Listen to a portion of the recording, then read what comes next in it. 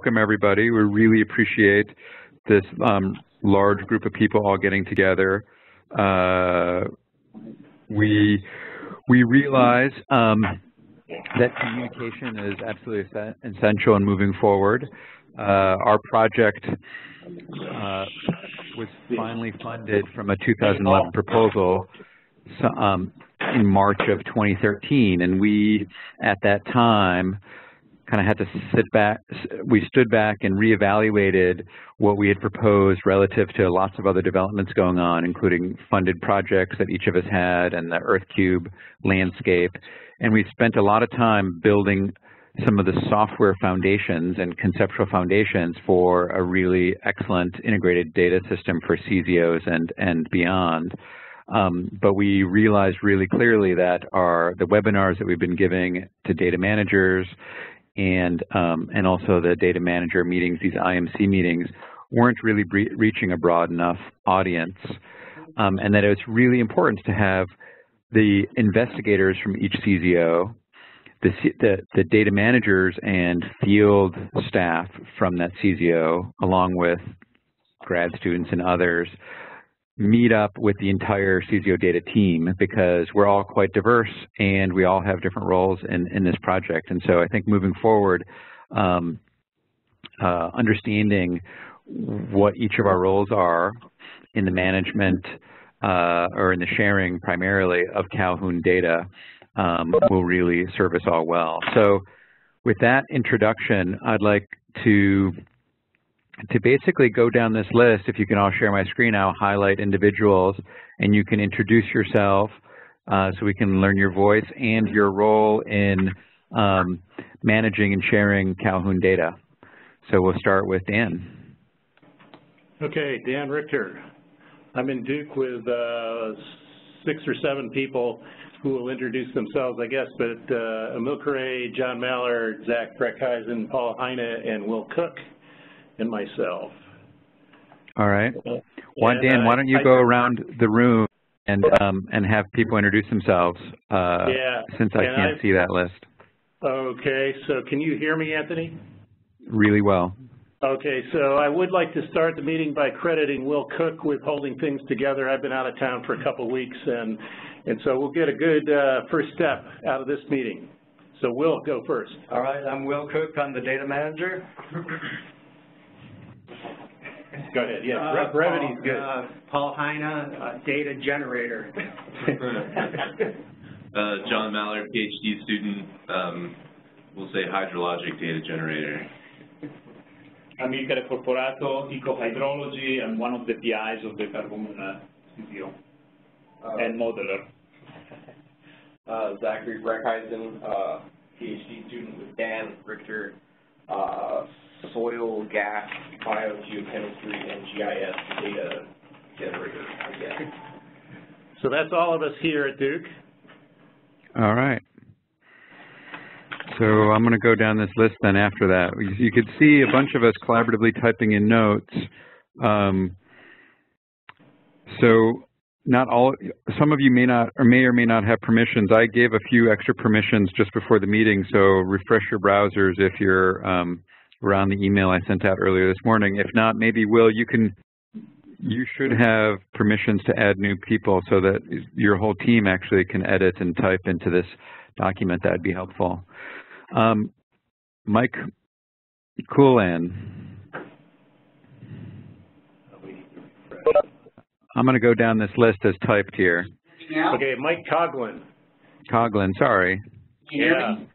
Yeah. Yep. Oh, uh, we couldn't we figure out the mute button. We thought you were on mute before. You could hear us before, I guess. Uh, we said nice things. uh, I'm at the University of Georgia. I'm an anthropologist. Uh, I guess uh, in terms of data, I generate GIS, uh, primarily GIS data. Yeah. Mhm. All right, Don. Yeah, so I am also uh, at the University of Georgia working on the, the human ecology and, and some of the joint modeling um, efforts for this project. So that includes a lot of the GIS data uh, as well as images, uh, as well as other sort of historical data sources. Super. Christoph? Christoph and Sharon. Uh, Sharon is not on Sharon the is muted. I'll unmute. Whoop. Oh, it- I'll yeah. unmute you, Sharon. Oh, Yeah, hello, Christoph Lehmeyer here. I'm from the University of Kansas. Hello, Dan also. I heard you. Um, I'm working in the field of biogeochemistry, and I'm generating data as well. Sharon? Hi. So, same thing as Christoph. I'm one of the co-PIs for the Calhoun CZO. Mm-hmm. Jing Feng? Hi, uh, since so long working on hydrology, I'm the PI of the Georgia Tech team of Calhoun CZO. I don't know. That We was couldn't nearly hear that. impossible to hear. Can you hear? You're gonna have to move your mouth really close to the microphone and jack up the gain if you can. Now? Barely.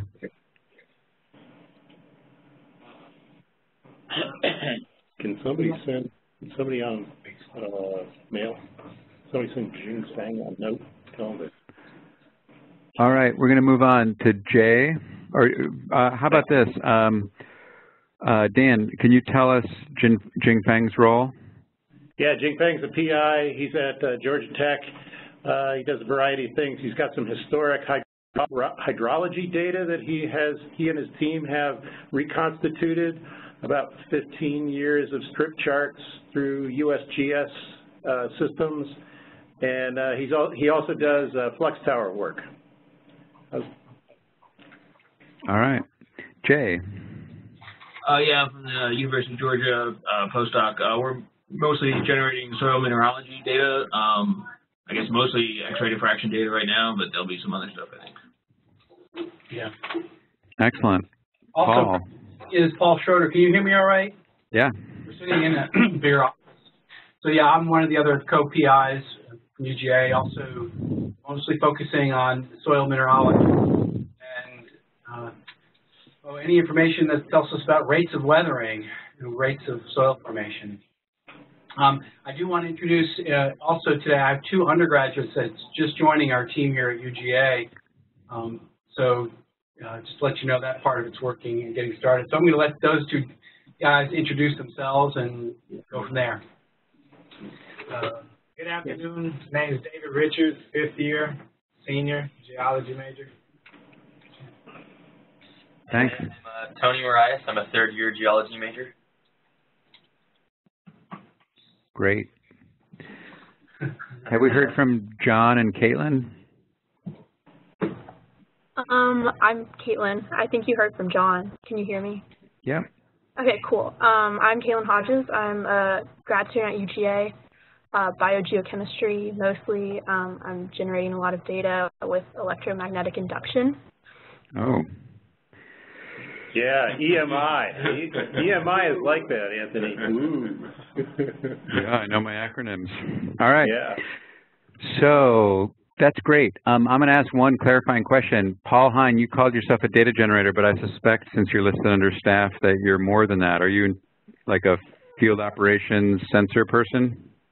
Uh, so I, I guess primarily I'm a lab manager, but I do a lot of carbon nitrogen analysis, water analysis, soil analysis, and Uh, whatever other analyses are lurking under the table. So, All right. um, That's actually really useful to know. Okay, perfect.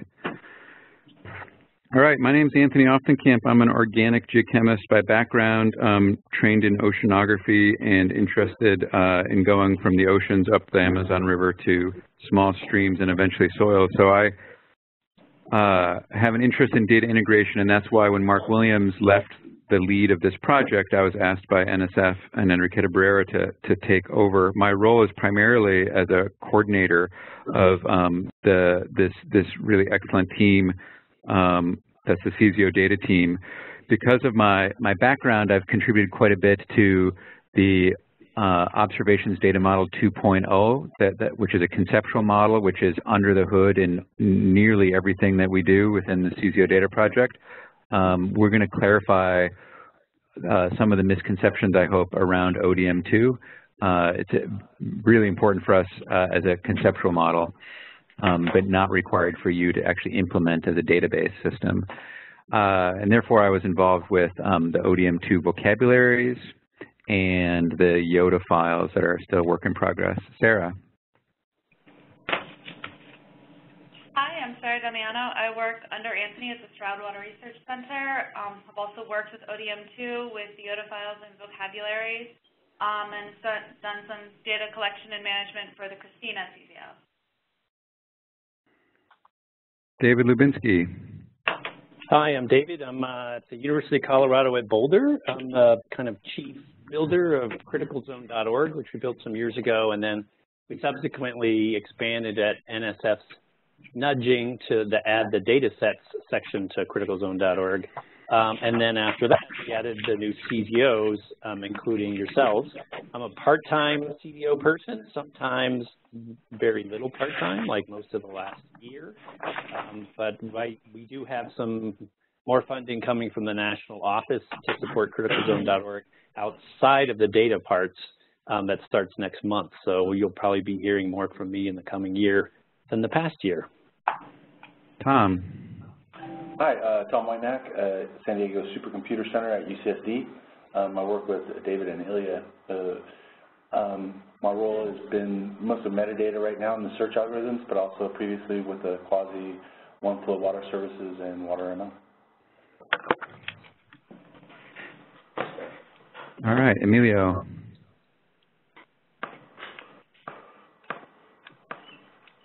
Oh, I muted you, Emilio. I'm sorry. There was some desk noise. Here we go. Unmuted. Well, thanks for noticing because I couldn't notice. Um, this is Emilio Mayorga from the University of Washington in rainy Seattle. Um, my role in the CZO data team is uh, focused on the data visualization portal, and uh, I've also been part of the ODM2 team, and my background is in aquatic biogeochemistry of rivers, uh, but uh, the bulk of the work these days is on environmental data systems. Super. And David Valentine. I'm Dave Valentine, San Diego Supercomputer Center, working with Ilya Zaslavsky and Tom Whitenack. I'm working on uh, the metadata structure, uh, Water OneFlow web services, implementing ODM2 as web services, and uh, working on some YODA tools. Great. Um, there's some people missing from our team. Uh, which I'll introduce by also showing you that if you go under the CZO criticalzone.org national page and look at people who are tagged with data management or cyber infrastructure, you will see a list of our team members. Um, Megan Carter and Kerstin Lehnert are missing. Um, they're from, uh, Kerstin is the director of the Interdisciplinary Alliance for Earth um, Earth Data, IEDA, or Data Applications. I've actually, Interdisciplinary Earth Data Alliance, sorry. Uh, Megan is working with her and kind of a support staff for IGSNs and other things. Jeff Horsburgh uh, developed the CUAHSI um, ODM1 uh, information model that was used for the CUAHSI-HIS system that exists today and has been in operation for quite a while, and he was the PI of the ODM2 grant.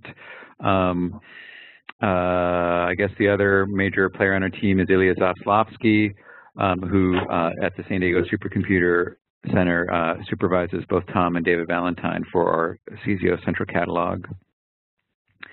So um, as I mentioned earlier, one of the we've had you know these various meetings where I get up and describe what uh, what our CZO data team is doing, and and then the data managers come and meet all of all of our our team members. But there's been a lot of confusion and, and, and misunderstanding, I think, around all of the various roles. And so we're trying to clarify that both at this meeting, but also um, with places like that that tag and then last, before we get into um, describing what the rest of the agenda is, there is, um, we ex recently expanded our documentation and guidelines for how to submit CZO data for data integration.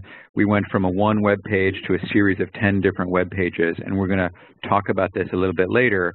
The main point I'm going to make now is that um, underneath each of these activities, we're now clearly marking who is kind of the main contact person and who's worked the most on, on the various data systems um, uh, so that it's more clear how you might be able to get help. We've also developed um, a CZO data help uh, line, basically an email that broadcasts to all of us um, and archives those emails so that they can be used um, uh, as to answer other people. So we're we're building kind of uh, with what we have uh, some support um, capabilities. So we hope um, that will help you out. So the rest of the agenda really focuses first on uh, a 20-minute presentation by one of the Calhoun folks. Maybe Will is going to present that, where we hear about your local data management approaches and and uh, and try to understand your specific uh, your specific uh, the tools that you use and and your approaches uh, and the things that you've tried and and some some of your questions. Um, and then after, and, and some of that has been answered here in this questionnaire that we wrote out. And then we're going to kind of turn turn things around 180 degrees and look at uh, the CZO data guidelines and essentially have a conversation um, where we try to clarify what those guidelines are and also answer any questions that you all have or any concerns that you all have. From there, uh, I think in that process we'll come up with uh, kind of some action items for moving forward for uh, either a set of recommendations from us or a set of um, maybe you, you'll ask for our assistance on certain things to help you out and, and we'll, we'll uh, take those as action items for the next uh, six, five or six months of this project. And then lastly, we are near the end of the current funding cycle. Um, most of our development money is winding down, if not over, and we're focusing on on outreach and training and helping you all out. Um, but we are also in a conversation with NSF about future funding, or we're, we'll we'll be beginning that conversation now that the CZO reverse site visits are, or site visits are, virtual site visits are are um, near, nearing completion. So we're interested in your input about how the CZO data, the National CZO Data um, project, what, how it can grow to meet um, future needs of yours. Any questions about anything yet? Sounds good. Who is who should I give the presenter ball to to present uh, the slides that you have? My computer is kind of frozen right now. Um, so does Anthony have it, have those slides? I do. Yeah, I can get them. Um, yeah, this is Will Cook. I'm data manager, and uh, we're just getting going with the data management. I've been focusing most of my time on helping get the Calhoun CZO built and instrumented and set up. Um, yeah. We're just now focusing on management. So uh, we're not very sophisticated yet. Uh, basically, it involves me emailing everyone and trying to wrangle some data out of them and get a basic information about on the uh, on the CZO website. Uh, currently, we have all the data uh, posted on a Duke server, but uh, we're hoping to get that moved to IEDA and uh, get and everything to get it up to speed. But that is to come. All right. So, Will, do you want me to walk through these slides? That was a good introduction. Um, but uh, sure. I was able to download your slides. Do you want to do you want to talk through them, and I'll just advance as you instruct me to? Uh, sure. The first few slides are from a couple of uh, CZO researchers that want to talk about their data needs. Uh, 1st mm -hmm. one is mm-hmm. Jay Austin. Is he online? Yes, he is. Jay, can you take it? Yeah, I'm here. Uh, yeah, sure. I mean, um, so I guess really what we're doing is we're trying to upload our data, um, and really we were trying to go through the um, EarthChem library, I guess, to get DOIs. And one thing we can't do is find a way to upload raw XRD data. So we were just put these couple slides together to kind of let you guys know what kind of data we have, and I guess we could figure out a way to make that work uh, in the YODA format or any other format that's searchable on the uh, website. But a lot of this stuff may be irrelevant based on what you guys tell us today. Um, I guess we'll find that out. Um, there's a lot to read, so um, basically uh, all it does is outline there's three different levels of data that we have. Most of them can be uh, made to fit the YODA format as far as I understand it, reading the website. It's just the raw data really that we will not be able to uh, make comply. I don't know if this is relevant for you guys or not right now, or, and the next slide is just a continuation. Yeah, this is definitely relevant, and we can get back to this. Um, perfect. I think there are uh, things we can do now, and there are things that we are um, that we have put into place that should enable quite a bit of this to happen in the future, but um, not in the next six months. But uh, for example, uh, ODM2 was uh, one of the use cases is to handle spectral, raw spectral data.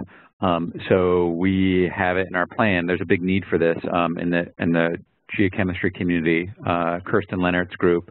Uh, it's one of the many use cases of why the IEDA EarthChem system needed a new database uh, design that the the old EarthChem couldn't handle spectra, raw spectral data, which are absolutely important.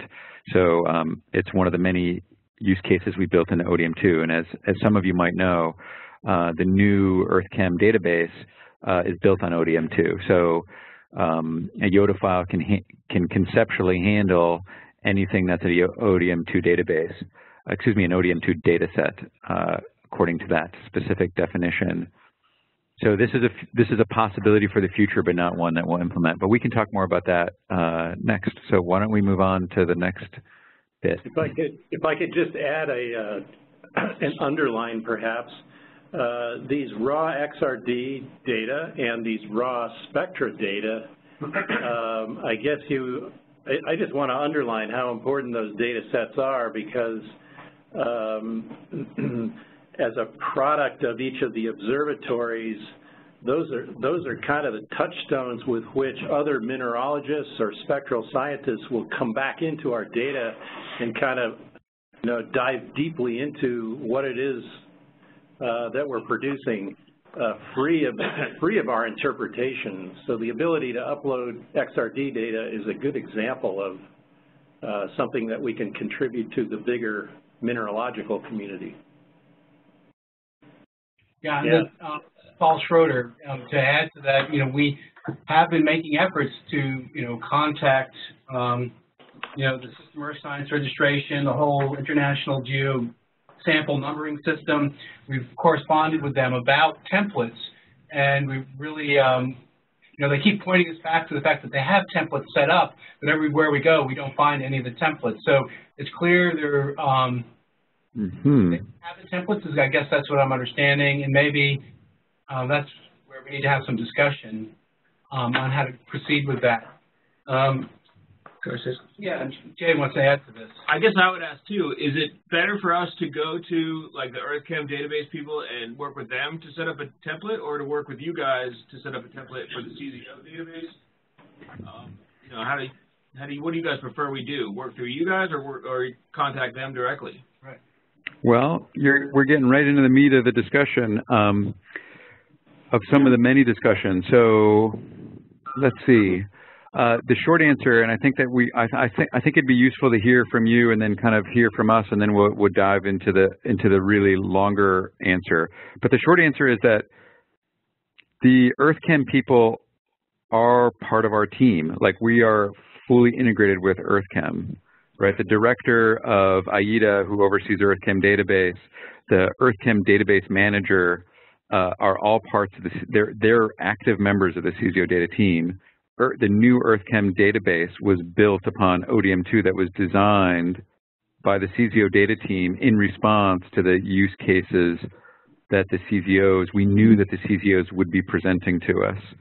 And then um, that effort from ODM2 the, the conceptual design of ODM2 has, in the last year and a half, rolled back into the rebuilding of EarthChem. So, so it's a pretty monumental effort that we undertook, super ambitious, uh, and we're all scrambling to get services in place built upon that. The IEDA team uh, wants desperately, has for years, to support spectral data um, but I don't think they yet have a template. They are um, would probably say if you want to develop a template with them, you could go ahead and do it. They may also say, um, why don't you why don't we do this through the YODA file ODM2 approach because that would actually be a more complete template. However, the timeline for that may be a bit longer. So, it, you know, it all it all it all has to do with kind of balancing priorities, and it's and it's a challenge because there's so, there's so many very fast moving parts right now. Okay, um, okay. while we're on this, this, subject too, you know, um, I know you're going to get to it, but this whole idea of definitions, um, you know, clearly when we start talking about specific types of data, therefore that it has to be defined, and I guess at some point uh, maybe not right this moment, but I would certainly like to get an update on the um, path towards um, how definitions are um, accepted and generally vetted amongst uh, the, the, group. So anyway. Uh, we can we can answer that one for you. Okay, thank you. Yep, that's a whole that's a huge effort that we put in um, into the ODM2 vocabulary system which is more than, again, just it's it's uh, it's more than just a system for ODM2 databases. It's a system actually to serve all uh, a lot of the Earth surface sciences and critical zone sciences. Okay, so that's a good example from Jay. I think we have two others. Uh, and is Kathy uh, available verbally? Um, I think so. Can you hear me? Yeah, we do. Oh, great. Okay. Um, yeah, so I'm working on some of the education and outreach components and uh, wasn't really sure how this fit in necessarily to the, the overall data structure, but wanted to give some examples of the kinds of things that, kinds of products that are going to be coming out and um, get some thoughts on, on how best to handle this. Two examples. Um, one of the things that we're working on is a set of uh, set of educational modules, and right now we're looking at iBooks Author as a format because it allows us to embed video and access some of the data sets, and it's, it's fairly interactive um, for that. So that's, that's one of the formats we're working with. Um, we're going to have a series of educational materials that may take the form of PowerPoint, the Word, PDF files, those sorts of things. Um, some of the lab activities and the classroom activities will be in the form of data sets. I'm anticipating that these would be uh, subsets of data provided by other investigators, so those would be kind of static files. Uh, ideally, what we would like to be able to do is access some real-time data, and that's a, a, larger discussion, but just to throw that out there, to, to, we have to figure out how exactly we're going to do that. And then um, there will likely be some video and audio associated with that. All right. So lots of excellent stuff here. Most of it is outside of the scope of our project. However, um, a number of us are working actively on other projects that may, uh, in the next couple years or a year or two, uh, provide some of these capabilities. I think things like um, educational modules and, and, other educational materials, my understanding is that there's quite a bit of resources for teachers to share those things. Mm -hmm they could be cross-referenced by the criticalzone.org uh, publication system or some of the other components of that website that could, you know, just expand um, the discoverability and maybe the audience for using those. Okay. Great, so, so we don't, that's not something that we have to worry about trying to, to go through this system with. Uh-uh, no, we're not. This is Don Nelson. Can I uh, make a comment? Or Sure. Question, perhaps, as well? So um, Mike and I, I, think, uh, have similar data in some regards to, to what Kathy's talking about. Um, and we've been looking through all the documentation on the CZO website and, and have had trouble figuring out uh, or finding exactly where a lot of our data types would fit in. Mm -hmm. um, we have a lot of, uh, and, I, and perhaps I don't know exactly what the the uh, geospatial opportunities are, but we also have a lot of uh, textual documents. So we are um, finding text, we're digitizing uh, parcel boundaries. We are, you know, reporting a lot of data that comes from these historical texts. Lots of image archives as well, photographs. Um, and some census data. One of the things that uh, we came across, um, there is the Inter-University Consortium for Political and Social Research, uh, which is housed at the University of Michigan. Um, but it, it, has a number, a very high number of university and other institutional uh, members.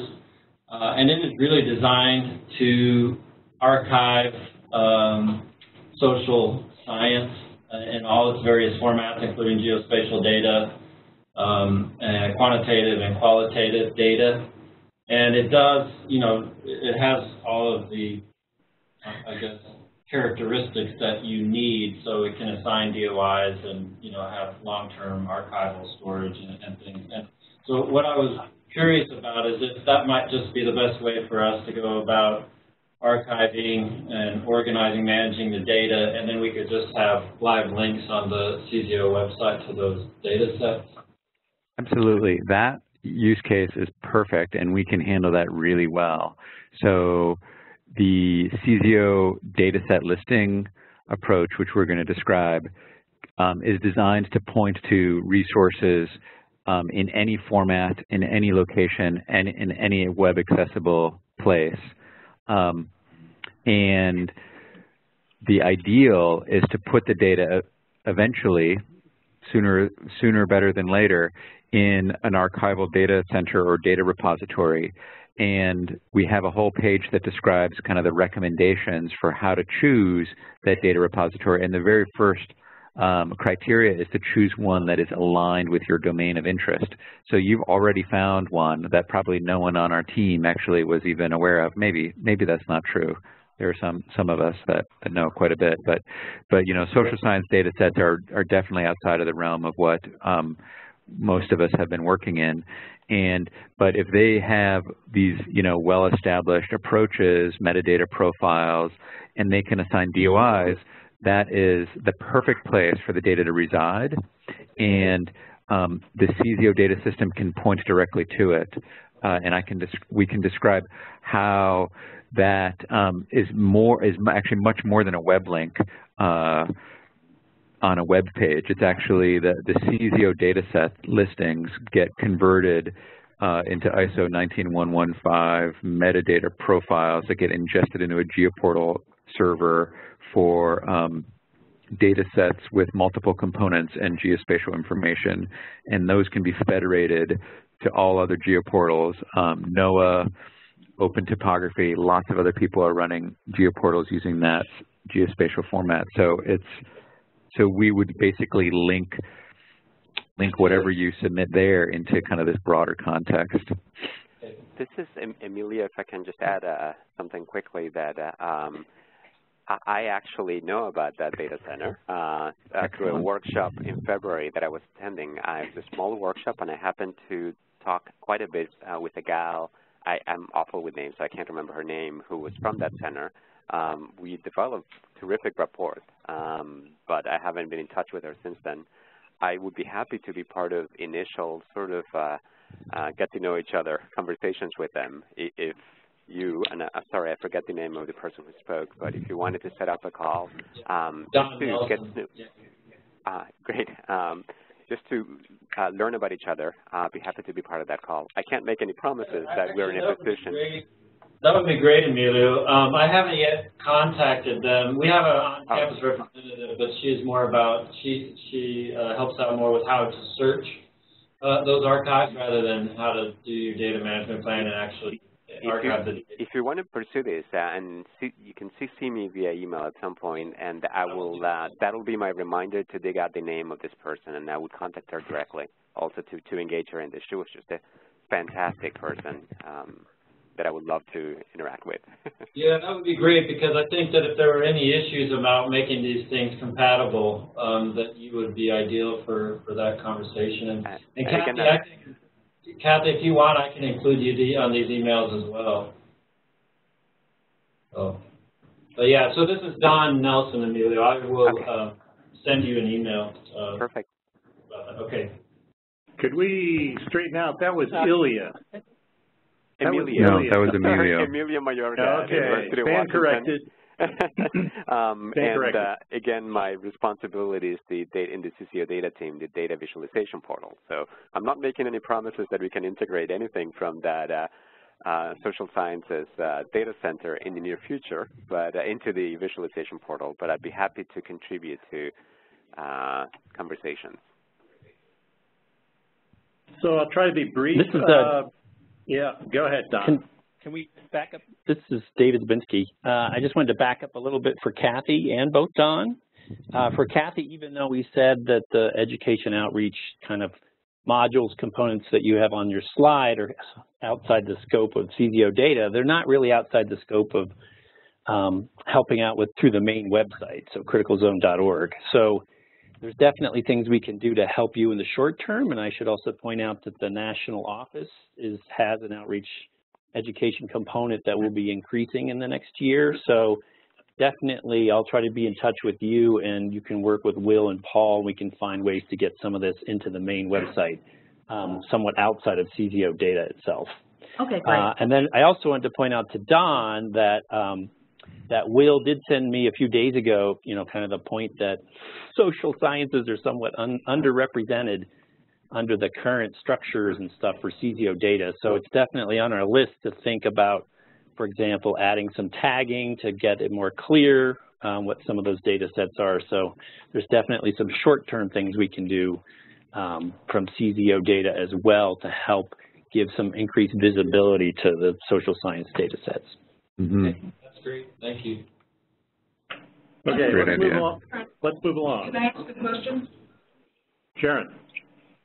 Um, well, you just flipped to a slide that was relevant, uh, unbeknownst to me. Um, I was asking if this CZO dataset listing is also where you would, or how you would cope with sequencing data, which which typically is deposited in public repositories like NCBI's GenBank or something. I mean, the, the data sets are far too large, I assume, to be hosted anywhere else. So mm -hmm. would it be would it be linked to via the CZO dataset link?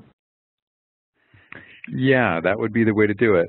So there, there are kind of a couple layers of, of response there. The first layer is that the CZO data, National CZO Data Project itself is not a repository. That's not our charge. Our charge is to help CZOs integrate their data. We have created partnerships with uh, a, a, couple of data repositories that in the earth sciences were already far ahead of the rest in terms of integrated, you know, va value level, record level data integration. That is um, IEDA and CUAHSI for geochemistry and hydrological data, respectively. But we're, um, but uh, we had to create a system that could handle all CZO data, and we knew that uh, a lot of those data sets were were uh, outside of the scope of those two repositories. We've had conversations with the LTER uh, network information system people, and they are opening up their data system for uh, their their archival data data system or data center for all CZOs, uh, in addition to the knowledge network for for uh, biology or bio biodiversity. I can't remember which, and we'll get to that in a, in a moment. So there are any really any any data repository uh, we can work with Um, so our role is to just kind of be, help with search and integration activities that help bring all those things together. We don't store data ourselves. With respect to um, the, the biological omics uh, data sets, those are very well established. What's less established are, are the are where omics meets the environment. And on a separate project that most of the members of this team are funded on, um, called the Big CZ Data Project. Uh, Big CZs for bio-geo integration, bi integration with geo. We're explicitly working on trying to bring those omics data sets kind of create bridges between um, these various biological, especially the microbial um, metagenomics type data sets. And we're working with people at um, uh, at Argonne National Laboratory to, to do that. We're actually having a workshop in three weeks on, on that. So, so that's, that's where the possibilities are uh, coming down, down, down the pipe. So if you already have data, you can kind of link it into the fold of the CZO data. If you already have data hosted somewhere else, you can bring it into the fold. Okay. In terms of full-blown data integration services, those are those are for for these omics data sets. Those are um, down the road, but we've been thinking quite a bit about them. But that's not within our current scope. Okay. So what's the next step here? So that is that the end of the slideshow? Okay, so the next step. No, no, no, no, no. just a second. We'd like to. All right. John Mallard's up next. Got it. Yeah, All right, this we're uh, back. Yeah. Um, this is um, John Mallard speaking. I just wanted to run through really quick what got deployed um, as far as field hydrology goes. Uh, do you Um, want to share your slides? I've got them up here. Um, It's okay. It's, it's just a it's a list of things that probably no one wants to read through while I'm talking. Okay. So I'll run through it verbally. Um, so currently I have about um, 45 separate data streams, um, starting anywhere from uh, last February to as recently as a week ago. Um, over the next month, I expect that to increase by uh, about 33%. Um, these are variables measured as time series that are sort of standard hydrologic variables like uh, water level in a well, um, stage in a stream, electrical conductivity in a stream, soil moisture, things like that. And I expect that they'll be very easily incorporated with standardized data models. Um, each sensor obviously generates a specific raw data file um, at every download, and I'm downloading data um, about once or twice a month, um, sometimes more frequently. Um, with those raw data files, up to now, I've been sort of following a pretty low-tech storage and handling um, process uh, in anticipation of um, more complex incorporation into a, a, robust standardized database. What that looks like is, is basically um, at every download, I'm uh, downloading data files to a, a read-only folder on Dropbox, uh, which is kept on a, a, field computer, and then backing up um, uh, that folder to a, a, USB drive for redundancy in the field. Um, that folder is organized by date, so for every day that I perform a download, I have a set of um, up to 45 data files. Um, then once I get back from the field, the computer's connected to the internet, so Dropbox syncs. Um, and then the raw data files from each individual folder are copied to another folder specific to each data stream. And then those raw data files are incorporated into an overall Excel spreadsheet. So essentially what we've got is um, a whole collection of raw data files organized both by the date that they were downloaded and by the specific data stream. And then just a basic spreadsheet with all of the raw data files incorporated um, for that specific uh, location. So, you know, well 3.84 water level. Um, and so I guess my interest here is just figuring out the most streamlined ways to um, extend the current storage and handling process I've got um, into this uh, cross-CZO sharing. Any questions, Anthony? Sure. So, so the the first the first clarification is kind of the whole the whole approach to this integrated national CZO data um, project is that is that at the actually at the request of the first three CZO PIs that each CZO kind of do their own management approach and where everyone should use the same approach is in how they share the data so that data can be integrated. So, so every single CZO is kind of doing their own thing. That said, our CZO um, team, uh, the, the National CZO Data Team, has quite a bit of experience with different aspects of local data management also.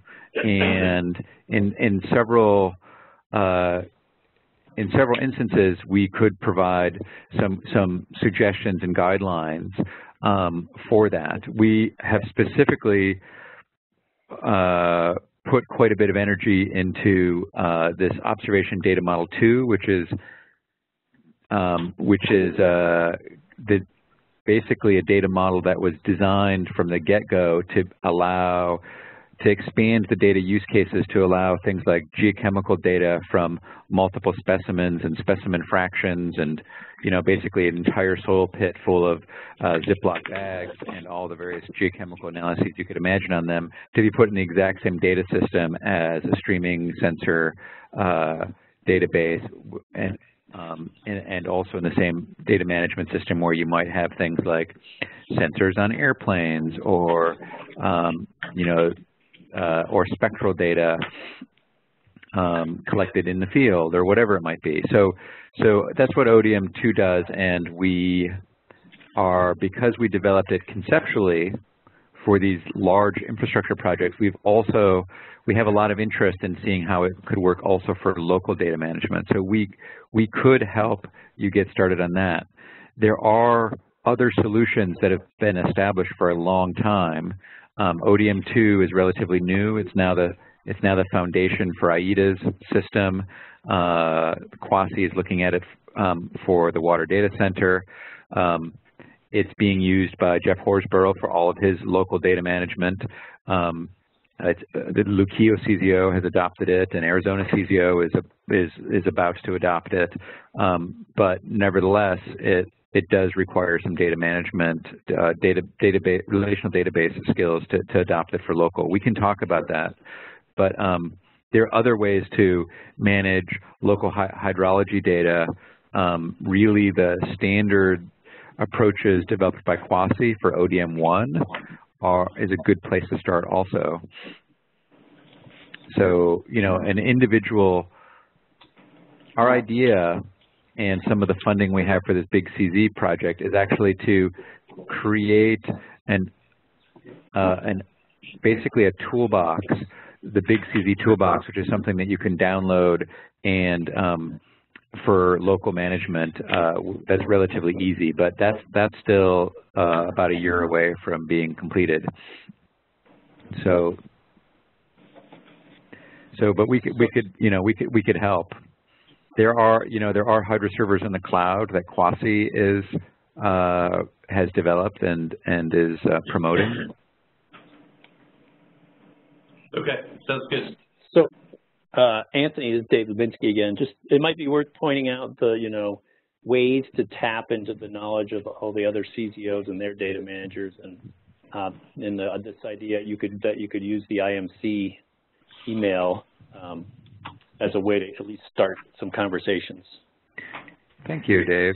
Um, yeah, so there's the CZO Data Information Management Committee, which are data managers, a few investigators, some PIs, and then our team. There's a Google group for that CZO, CZO Data IMC, and we can accept quite a few other people. The intent was that it would be kind of a peer-to-peer -peer forum to, to be able to ask questions and get advice on. Uh, to date, there hasn't really been as much sharing as we'd like, and we'd like to really encourage that. Um, some of the innovations that have happened at some of the CZOs uh, could really go a long way from helping other CZOs. but everyone has their own local system that's quite a, that, you know, is, is unique to that CZO. So we've got the slide, other data sets include, and Amilcare? Yes, uh, Anthony, this is Amilcare. I just have a Hi. quick question about modeling at the end. I, then I have to leave to, to teach. Uh, Okay. So we have uploaded the script, general description of, of our modeling efforts, but the, the main question, I would like to share actually the, the, the codes, the program codes of the, of our models, because I think we other CZOs or in general, people could use it to just generate scenarios and play with, uh, with different uh, hypotheses. So what is the situation about sharing uh, MATLAB codes, Mathematica codes, or Fortran, whatever? Uh, All right, I'm going to jump ahead um, since you're about to leave. So well, I talked earlier about recommended data repositories. We've got all this on the Critical Zone website. It's a relatively new set of pages we developed. Um, CUAHSI HydroShare is a relatively new project um, trying to develop this online collaborative environment for sharing data, models, and code. So I would encourage you to, to try out HydroShare. okay, excellent. This is The, I mean, the other approach would be to use what what the programming community has adopted, which is GitHub. But it may not be connected enough to your community.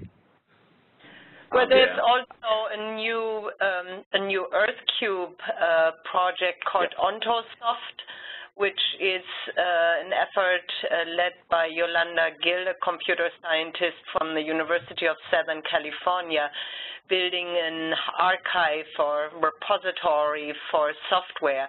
And they they do set up portals for specific communities, so it could be, you know, it's somewhere between GitHub and HydroShare, I would say, um, uh, and could be sort of customized as a CZO uh, portal to, to code if there is more than something that's relevant for hydrology. That's a. I didn't. Thank you. I, I I knew that Yolanda had gotten funded for that, but that's great to see this. There's also, Yeah, you know, the. Yeah, go ahead we just recently set up a portal for the um, the RCN that we have in EarthCube, the cyber infrastructure for paleobiosciences C4P, so that, that URL is c4p.on. So it specifically just um, makes accessible the software relevant to that particular community. Did I get that right? No. no C4P.ontosoft org. Oh, C4P. Subdomain. This is dangerous, me typing in URLs by hand. Huh? I could end up on something embarrassing. All right. Well, we'll try to. So, okay, so this is one of those portals. Um, I'll also mention that. Mm-hmm. Yeah, no, it's good. It's good. I'm done. Perfect. So there are lots of, EarthCube in particular is really trying to create these resources for, um, for models and code and, uh, in addition to data and, you know, software, all, all sorts of resources. Another one that's, that's important to our community is the um, CSDMS, Community Surface Dynamics Modeling System. Um, they have a model repository that's been around for quite a long time. There's I'm- there's there's also one more, which was something I uh, did last week, which is not quite fully off the ground. They're just getting um, some programmers and directors, which is the National Data Services. Oh, the Um, NDS. Yes. Yeah. So, um, and that one's that one's also looking. So it depends on also what your goal is to sharing this. If you want to share the way for people to just get the code and do it, that's one thing. Versus there's also the purpose of being able to actually run and execute the models. Um, that's partially where CUAHSI the HydroShare fits in, and that's where the data services kind of fits in. Yeah. All right. Okay. There's Thank you. Is that it, Amilcare? That, that, Yeah. that's a good start, yeah. Yes, yeah, yeah. So, uh, Anthony, could you just return to the other data sets? And, and Yeah. we'll, we'll maybe conclude this part of the meeting? Sure. Uh, I, I, I wanted to get a sense to you of the wide range of data sets that we're collecting. Some, many of these are comparable to other CZOs, but I, I pushed ahead like Don and, and Mike Coughlan to, to get their social science data questions to you. Um, in any event, this is what we're dealing with. Yeah. Right. Most of this looks pretty similar to all the other CZOs. The the social science stuff is uh, not all there. Are, I'm not sure there are many other CZOs, if any, that are doing a lot of social science. So that that was pretty cool to hear about. So I, IML is is, uh, is, is kind of in the same category. Um, I, I think the Idaho Reynolds Creek has a bit of uh, land use history story that it, that it will tell Mhm. through time. Um, in my own personal point of view, this is, this is the future of, of the critical zone science. It's not just solidly interdisciplinary in the natural science way, but it's it's pushing up against social science. In any event, let's let's move on to the, if we're happy at this point to move ahead. Uh, I, I believe. All right. I think we'll have more more of these items come up um, in the discussion. Is there are there any questions from anyone on our team, um, either from the presentation or from um, what's written in the questionnaire down in these points below that I'm showing?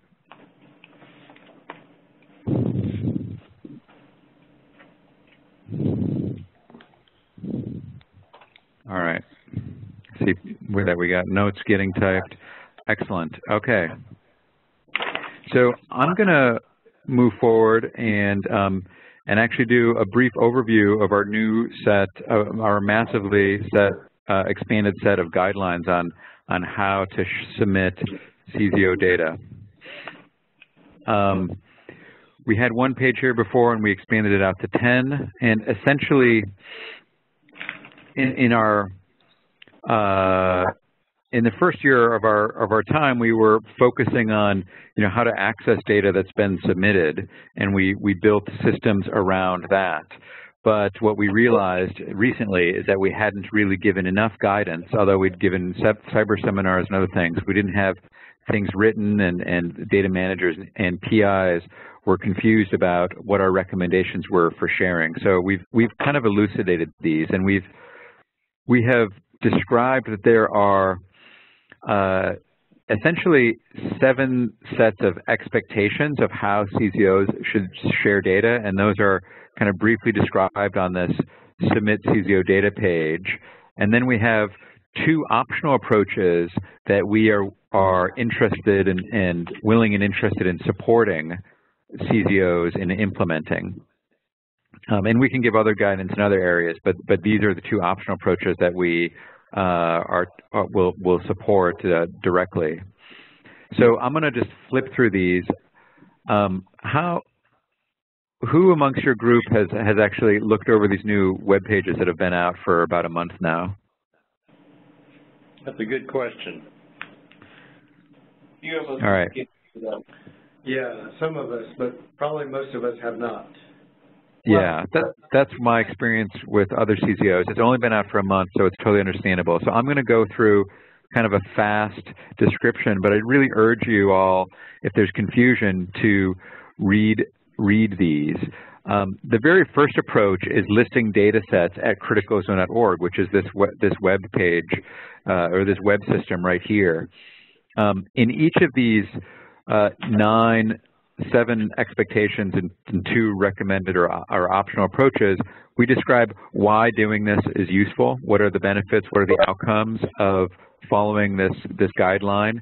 Um, and then we, we provide detailed instructions that hopefully will really help you move through things.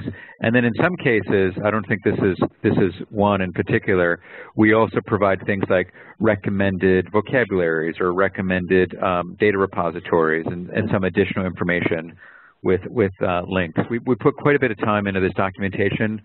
Through these consults, we've realized we need to do another round of revisions. There are some things that are still confusing, but um, we feel quite good about it. I should point out that that the page underneath CZO data system is outdated, and we're in the process of of uh, that's our next target to to to do a round of revisions there. So listing data sets at criticalzone.org is the place to start. Um, it's a data set listing on criticalzone.org. Let's see here. I'm going to go I'm going to hit this access CZO data, and there, there are essentially three approaches to finding the CZO data. One are these data set listings, which are just web pages, but they're more than just web pages because they actually populate um, the data search portal, which is this uh, GeoServer that I was talking about. Uh, I can't talk and click at the same time. All right, so I'm going to point us toward what your holdings are. So these data set listings, looks like you've got a pile of them that have been loaded up already, um, are basically groupings of data data types, and they can be made, uh, uh, you know, there's a bunch of metadata here, descriptions, keywords. Um, you can also include links if you if you dig in the web forms to the um, NSF grant number, et cetera. And each one of these can, can handle a whole pile of files. So they're not really meant to be just a single file, but really a whole pile of files. So one could have um, a whole data set just on the historic data pits and have 15 different files that it points to. The files themselves, if you look at the bottom of my screen, I don't know if you can read that while I'm screen sharing, but doesn't it doesn't actually point to a file, it points to someplace on your server. Eventually, it could and should point to a place at a, at a, at a data center using a DOI. So that's the intent. But any file that you have can be shared in this way. Um, of any sort. So those hydrological Excel files that uh, that have been uh, developed can be shared, and, and, you're already you're already doing this. And and as you can see here, these things can be held private, and then um, the data sets once they become public, um, it's just changing the link and changing things. Meanwhile, the profile uh, is is maintained. So all of this information gets harvested every 24 hours and is available at the data search portal, which is this, which is um, a powerful search interface. So we can do this faceted search where we search for, you know, Calhoun and maybe geochemistry. Oh, that was maybe the wrong one because of the way the tagging is, but uh, I was going to look for Mossbauer. Oh, I probably can't spell that properly because of that special character that was used. Uh, so that's not going to show up, but uh, what's another keyword here? Enriched iron, right? So, um, so this can find things really quickly. But more importantly than that, it's built on a geoportal that allows all this machine-to-machine -machine interaction. And one of the things you might have noticed is that in addition to the powerful search capabilities, there is the ability to um, to federate with other data systems. So all the open topography LIDAR catalog is actually available through this search interface because they also use a geoportal. Lots of other organizations do too, um, and we have that capability to federate. So, so there, there are powerful capabilities by listing your data um, uh, on criticalzone.org. It's not just a web. It's just not just a web browser.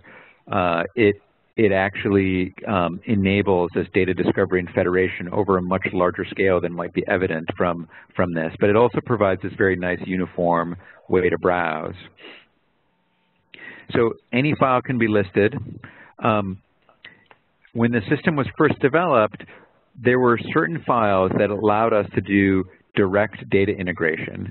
Those files were called CZO display files, version 1, and um, um, and those display files had had great great capabilities because we could read them and parse them and ingest them into the CUAHSI Hydro server system for direct integration. So it did not require local data managers at CZOs to use a CUAHSI hydroserver, um, and it was an easy way for them. You know, you could you could create a display file quite, you know, in a text editor or in a spreadsheet.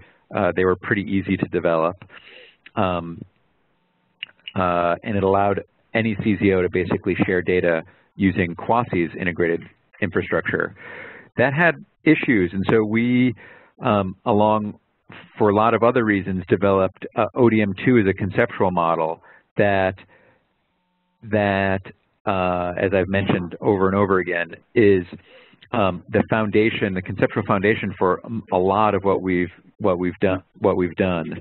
These YODA files are designed to be the replacement for CZO display file. They will be able to handle um, a broad variety of data sets. However, generating YODA files is not something that is quite as easy to do as an old school CZO display file, and we need to do quite a bit more work. The, the prototypes that we released in the spring um, had a number of issues. So right now we don't have easy to, um, easy to use uh, approaches for generating these YODA files, but it still doesn't hold you back from sharing your data using the dataset listings. Once you share your data as a YODA file, there'll be these enhanced integrated services that will be possible, but um, and we're going to create some Excel templates um, to create YODA files or uh, some web forms to essentially go straight into the, that data integration, maybe via EarthChem.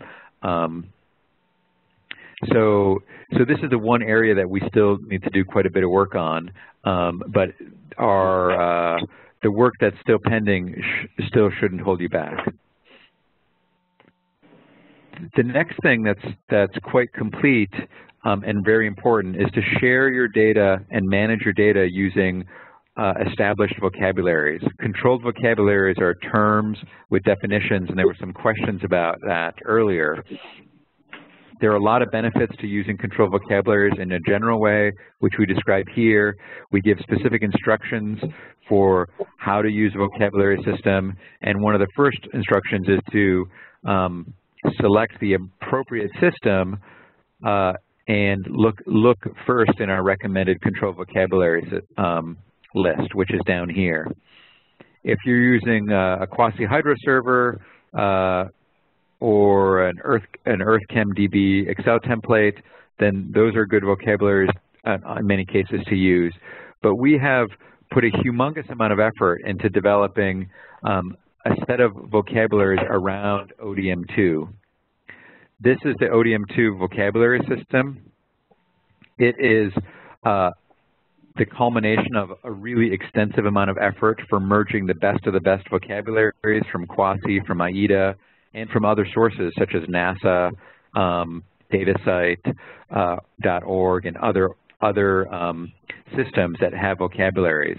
So there's an enormous number of vocabularies here to choose from, and I'm going to go straight to uh, the specimen type vocabulary as an example. When you click on that, you can see the lists with the names, the terms, the names, and the definitions.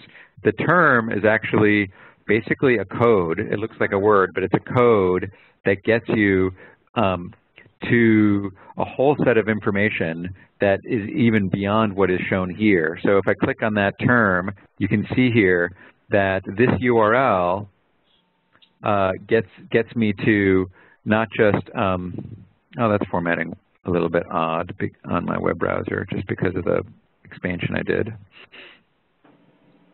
Um, it gets me to the definition of a core, uh, and then um, this one isn't particularly filled in, but it, you know, with categories and provenance and other notes. What's Im important to to notice here is that this whole system is built on a SKOS, um, which is uh, allows information to be transported between machines using RDF, which is a which is similar to XML, so that essentially software can be built that automatically updates and reads this information. So all you need to know is basically this URL, and that will um, can be allowed to fetch all the information about uh, that particular term. So it's it's part of kind of the new future of links data and and everything being available um, online for machine-to-machine -machine languages. But in addition, something that that really none of the existing systems have that are both that that are in, in built into SKOS there's also the ability to edit terms. Um, so anybody who, who logs, creates a login can submit a request. Actually, you might not even need a login to submit a request um, to basically modify a definition or add information. So it serves a little bit like a wiki. If there's a whole new term that you want to add, mm, rats. Oh, here we go. There is also a button for new terms. You can download the whole vocabulary as a CSV. Um, these vocabularies are are quite huge. Uh, we have a units vocabulary, including units type, which is really impressive.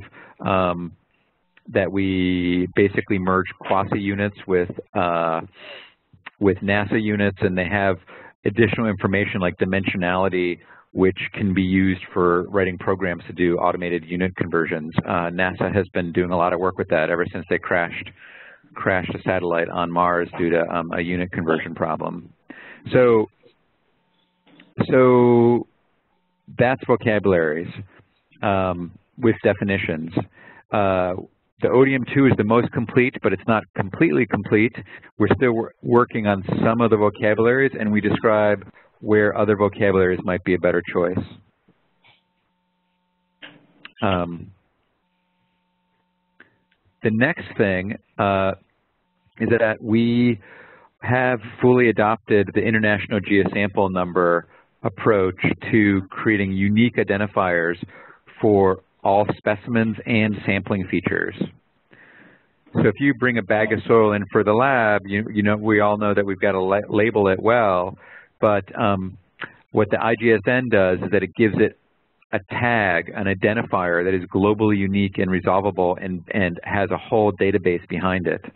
So you can see on these tags that there are um, barcodes, and you can use a mobile device to basically um, scan that and send you straight to a web a web URL that has all the information associated with that specimen, in it, including the parent, the siblings. So the parent might be um, the core, in this case, it's uh, a core. These are the, uh, the, maybe the core sections, and then and then you can even have children. So the IGSN system with its hierarchies can basically allow you to um, bring all the data together for a single soil pit um, through this data system. It really has uh, amazing benefits, but it really um, starts by registering your sampling sites, such as weather stations, soil pits, stream gauges, wells, um, boreholes, etc. Um, sampling sites are, are, are a type of sampling feature. They're not actually the equipment, the sensor on the weather station or the pressure transducer at the stream gauge. They're the location on the earth where data is being collected. A specimen is an object that you take away from the earth to collect data on it in the laboratory. Um, so there, this whole system is uh, uh, really starts with sampling sites. If you create these unique identifiers for your sampling sites, use that sampling site information in your workflow for all your sensors and specimens and always point to it. It's a great way to aggregate and synthesize your data at the end of the day or when the, you know when it's time to do that. Um, when you bring specimens into the laboratory, if it's a spec specimen that you're going to analyze more than once, um, subsample it, share it, archive it, uh, then you need to, then it, you also can benefit from assigning an IGSN to it. And as I said, the whole hierarchy gets developed. There are there are tons of benefits that then extend beyond the local data management. If you use IGSNs in the literature, they're not unlike DOIs. Publishing companies like Elsevier are now um, basically building services around IGSNs, just like they are around DOIs. So, so um, in in with Elsevier and in the near future and other public publishers, and Kerstin isn't on the line to. Oh, maybe Kerstin did join us. That's right.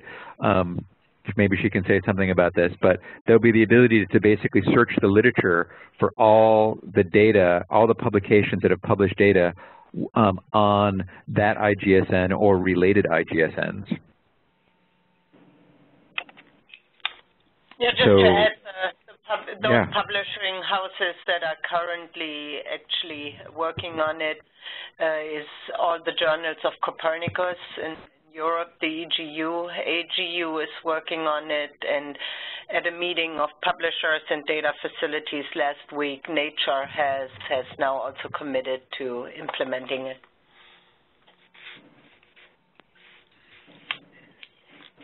So this feature is in, uh, quite important for um, for integrating data, and, and again, that's the role of our project is to is to help build tools and guide you all to uh, to use tools that that integrate data. Now, we just learned today. Uh, I just learned, and some others on our team learned that you that the Calhoun CZO has registered a number of IGSNs. So that's that's exciting. Um, geospatial data, right, it may not be all the way across the board, but it's a, it's a great start. So we're geospatial applauding. data. We're applauding. Yay. Yay, right.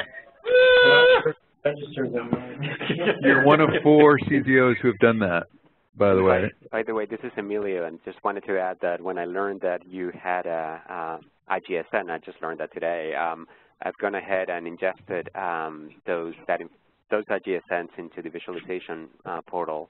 So now you have some data, or, or metadata, I guess, um, and there are only three, right? Uh, the other, the fourth CZO hasn't made them public yet. So it's that right, fresh off the three press public. uh, this morning or a few hours ago. So is this So just to- can I ask a question now, or should I wait till the end of the seven items here?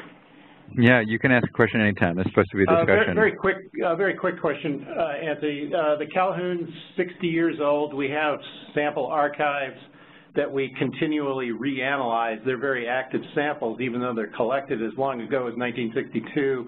Um, I, you know, in my mind, we're really friendly to this IGSN, although we've never done it before and we're beginning. Um, but that's that's where I want our project to go is to, to spend quite a bit of time, unfortunately, IGSNing archived samples, historic samples. Got any comments to that? Can I just ask if tho- all those samples are in some sort of database, in a spreadsheet, cataloged in any way? Some sort, yes. no, it's, I mean, the way, you know, we, we got over the years a lot of collections from repositories such as the NSF-funded core repositories or even museums like the Smithsonian uh, registering their existing collections. So if you have a database and be it just a spreadsheet that has a latitude and a longitude and maybe the name of the location and so on, uh, it's a very easy step to get the uh, those those records registered in in the IGSN system. So we can help you very easily with with that. Thank you, Kerstin. Yeah, and that's that's a huge benefit, especially if you start if you're starting to pass out those uh, specimens, uh, you know, subsample it and and send them out to other laboratories. Uh, now that you're that you're you know more keenly interested than ever in, in those older data, those older specimens. I, that's the way to do it. Okay, so I think And, we're on and the IGSN five. system comes with barcodes, right? So you have Yeah, it basically right. hands you a free barcoding system that can work with a smartphone. So you don't have to buy special barcode readers. Okay, we're on number five, Anthony. Geospatial, geospatial data. So the, the scope of, of this integrated CZO data project in the beginning was really to integrate hydrological data with geochemical data. That was the primary scope, but we were also asked to kind of do something with geospatial data. It turns out that, you know, the the geospatial data works really well, of course, with the GeoServer. that's that's the point. Um, but doing special GWiz kind of stuff with it um, is uh, is something that can be done, but uh, but uh, hasn't been done yet, and and really is is uh, could be done in the future. But all geospatial data can be shared as a data set listing on criticalzone.org, basically just like any other data file. Z those geospatial file formats that are common, from shapefiles to KMLs to GeoTIFFs or whatever, they, those file types uh, can be recognized and used by, by cool display software down the road. The first step is we, we're, we don't have a system that does nice geospatial display of geos that kind of geospatial data. Uh, I'm going to point out in a moment um, what, the, what the visualization portal is for. Um, but, but if you just share those data sets via um, this uh, data set listing page, that capability is is massively enabled or is uh, you know it, the possibilities are there for us to do that in the future quite readily.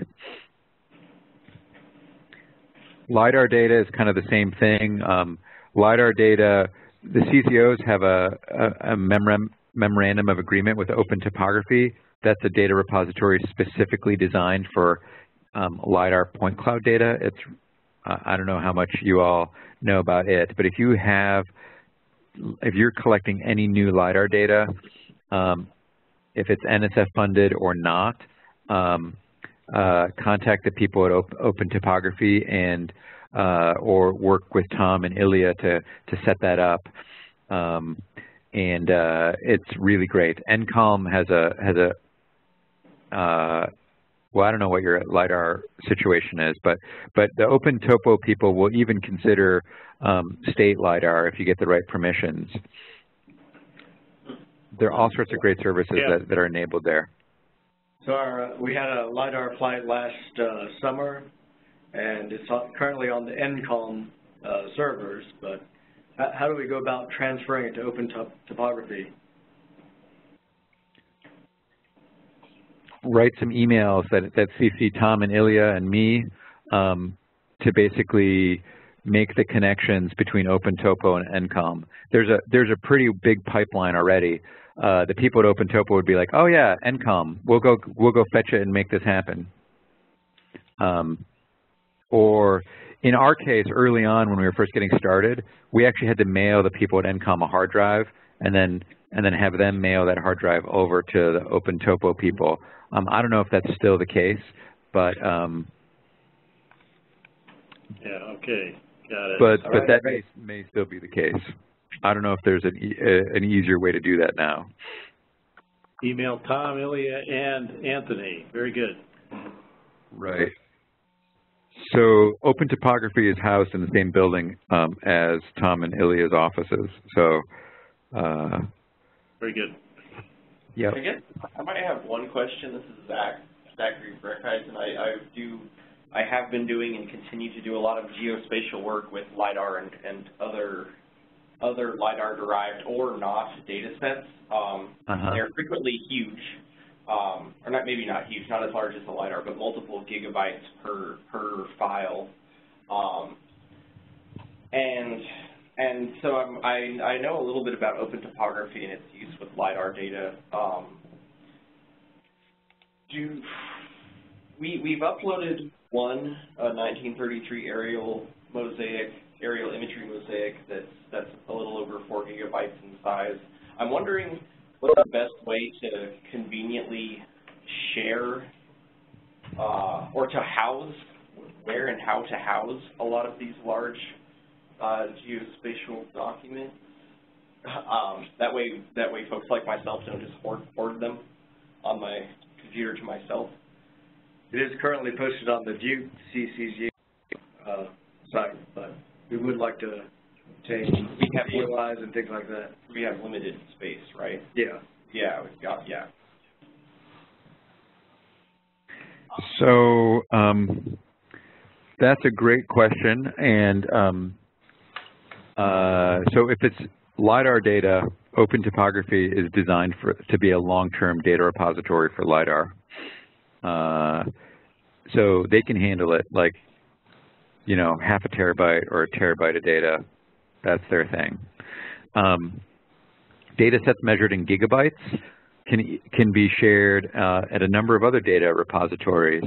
Um, if you get up into the many terabyte range for something other than LiDAR, that's a conversation with uh, with a data center. okay. That, so, that's that's a conversation with a data center or with with your library to see if they can host that. Because when you get to those images, or you've done them, you've probably got them in a web map server or a web map and laying them out in a web map tile server where people can um, kind of statically host and access them with the service. Um, I think, and, and that's not done. The other one is to talk to uh, a major hosting thing like Esri or, you know, see if they'll put it up on there somewhere. But but, but gigabytes of data can be handled by um, one of our our partner repositories, which kind of takes us to the next thing, the data DOIs. So, you know, well, first of all, any files that you have on your own server, you can create a data set listing for and just point to them, right? So you create this data set listing, which is essentially develops a metadata profile. It goes into a geoportal, and people can link to, to wherever you have these files located, and they can be discovered. We're not we're we're currently not funded to build any fancy display system for that, like like David was just describing. Um, but at least that data, is accessible and, and discoverable by people, and you're kind of advertising that you have this data and you're willing to share it. But um, in terms of long-term archiving of the data, there are data centers that we work with, but we work, but we also are open to working with any data center. The intent is that with these data set listings, you know, right now you can point anywhere and almost everybody starts with pointing at their own server. But the intent is to move the data off of your own server, especially after it's been QA QC'd, um, put it at a data center and get a DOI for it so that it can be um, citable, so that it can be, um, and, and so it can have a persistent identifier that gets resolved as the data centers evolve and, and things change. That's the purpose of a DOI. It's a persistent digital object identifier. So that's the intent, that you would either replace or add links um, on your dataset listing page and point directly at the DOI. That's all described here, why this is useful and important. Um, dataset citations are becoming increasingly valuable, and Kerstin was just describing that um, you know, all the publishers, they don't want supplementary tables in their in their papers anymore, even if it's relatively small. They want you to put the data, the supplementary data table in a, in a data repository, give you a DOI, and then the data repository maintains that. Um, you point to the DOI. It creates persistent, reproducible data, but also um, gives you actually the capability for bibliometrics like citations, how many people have cited your data set, et cetera.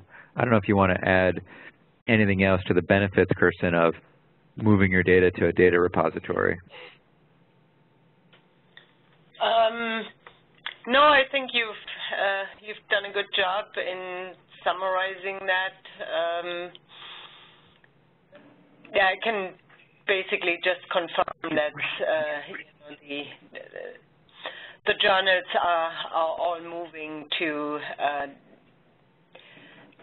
making sure, I mean, one additional benefit maybe that um, you, you not include is that everybody sees that at a data facility, the, the data quality control is more rigorous. The review process has usually not taken care very well of the data. It's focused on the scientific content uh, of the paper, but not necessarily on, you know, how complete the metadata for a specific data set is, if it complies with any uh, community standards and so on. And that's really the job of a data facility, and that ensures reusability of the data. Yeah. So this circling back to the question about aerial photo images. So the very first instruction here is determine what is the appropriate data center for your data set. And um, CZO data project is not a data center, right? So there's a list below that we recommend, but really the very the the primary criteria is select um, a data repository based on the scientific discipline and data type. So we have some recommendations which I'm going to go through below. Um, there may be a data repository for aerial photographs, and if there are, if there is, that's the data repository to use because they'll have the best metadata, they'll have the best services built around that type of data. If there aren't, then, then there are some other possibilities. So the data centers that we recommend uh, is first the Inter Interdisciplinary Earth Data Alliance IEDA EarthChem library that Kerstin Lehnert's is the director of. It's been around for a long time. It's been issuing DOIs primarily for um, solid earth, uh, geochemistry, and mineralogy data, but it's now expanding into other data types. Um, just so, let me add actually the second part of, of IEDA is, is marine geophysics and, and uh, a lot of seismic data and, and so on that sit in the marine geoscience data system. And there is uh, a component of that that actually deals with, with images and photos and data products of, of seismic surveys and so on. Uh, so you know, if there is a need, uh, there is really no other repository, there would be ways to accommodate that here in, in the sort of repository infrastructure. But that would be something to discuss further. Mm -hmm. The next, the next data repository that we ha will have a high level of integration with is um, CUAHSI HydroShare. Uh, it's rel relatively new. I mentioned it earlier that it's this collaborative environment for both sharing hydro water-related data, but also models and code. And these resources that they're calling these these things um, uh, could include things like aerial photography. They're they're trying to build quite a bit of services around these these resources. Um, one of the services that they they will build, and that's why we're where they're one of our highly recommended repositories, is uh, services around YODA files and, and also um, ODM2 data sets exported as SQLite documents, which actually we don't really mention here, but that's another use case. So they could handle, I'm sure that they could handle aerial photographs. They have something like 50 terabytes of storage. Um, so gigabytes is something they can handle, terabytes is not. The CUAHSI-Water Data Center is also a, a, recommended data repository, but they primarily deal with time series that are continually being updated. So it's a slightly different um, kind of approach to doing DOIs, but they're beginning to experiment with assigning DOIs to web service endpoints, and we can talk a little bit more about what that means. There are other repositories, which I mentioned kind of without showing the slide, specifically for biological data. The LTER network system issues DOIs to biological data, kind of ecological data sets. Um, and the Knowledge Network for Biocomplexity also does. The LTER network, by the way, has opened its doors to CZOs. So there may be many others. We already talked about the social science data repository. Any of these that are connected to your the domain of interest um, that issues a DOI is totally appropriate. And what you do is basically connect the two by cutting and pasting, right? Because these, these web forms for loading up these data sets have a bunch of, um, uh, you know, fields that are not that different than the one on the CZO dataset listing page. So you cut and paste back and forth, and then you create the link that um, basically links to the DOI, which is where, which is the considered the ultimate um, uh, resource or archive for that data. Let me just, sorry, um, just adding one perspective again from um, this meeting uh, that I just had the, uh, in, in the UK meeting of publishers and data facilities. Um, the publishers are also um, pushing for um, a certain certification of data facilities that they accept as places where the data goes. So that should be something to be taken into account. So several of the facilities that um, that were, were, mentioned will have this certification. It's either the World Data System Certification or Data Seal of Approval. Others may not. So uh, if if this is if the data sets um, are submitted in conjunction with with publications, uh, then it is a good idea to check at the journals which data facilities they um, they approve as as acceptable for their particular journal, which differs in between journals at the moment still. I think that will pretty soon change, but uh, it is relevant for you to know if you um, if you deposit your data in conjunction with the publication. Thank you, Kerstin. Can, I, I have a quick question for Kerstin. Uh, a few minutes ago, did you did you indicate that EarthChem and IEDA was uh, expanding into geophysics data sets? No, it's not expanding. It always had them. So okay. the, the, history of IEDA is that okay. uh, several existing systems were merged into IEDA. And right. that was, on the one hand, the Marine Geoscience Data System, which holds a lot of the um, marine seismic data acquired on the ships a lot of, uh, they have an, the academic seismic portal that they're operating and, and other systems. And on the other hand, it was EarthChem and, and SESAR for, for the SEMBR registry. Those were merged in 2009 uh, and became a cooperative agreement with the National Science Foundation. So the, the, the geophysical data have always been part of IEDA. Okay, thank you. I guess the question is, um, the marine geophysical data use cases are likely to be different than the um, Earth surface geophysical use cases, and and that, yeah. Yeah, not not entirely, because actually the marine geoscience data system became the um, the data management system for GeoPRISMS and margins, originally margins, now for GeoPRISMS, which actually has a lot of land-based data now. So they have been adjusting this to land-based campaigns of, of geophysical data acquisition. Uh, they clearly don't take any data that would uh, that would fit into IRIS Data Management Center. I see. Okay. So there's a lot, there's definitely potential to use um, the IEDA geophysical capabilities for CZOs uh, down the road with a little bit of down, thought. Down the road, absolutely, and we could potentially just, you know, set up a, a demo or webinar just to, to, to see what, what is there at the moment, you know, and if that can easily be, a, you know, yeah, used to, to accommodate that data because I know that has been a struggle, I think, for the CZOs to find places for, uh, for any geophysical data. Mm -hmm. Okay, very Perfect. good. So now we're going into some of the optional stuff. Um, so I've described ODM2 and talk about it a lot, and I think there's some confusing language about what ODM2 is and what it isn't.